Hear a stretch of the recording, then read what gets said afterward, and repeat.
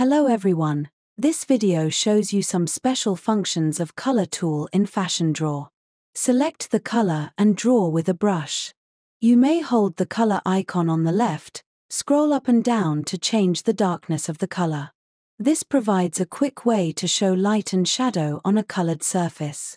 To change the color, press the color icon to show more colors. You may switch from disk to value or palette. Click the plus icon at the top right corner. Select New Palette and click on the empty block to add the new color. If you want to delete the color swatch, hold the swatch for one second. You may also create color palettes from an image. Click New from Photos to select the image. Color palettes will be generated randomly. This provides a convenient way to make the color board and propose the colorways. Lastly, you may click the dropper icon to select the color on the canvas. That's all about colors in FashionDraw.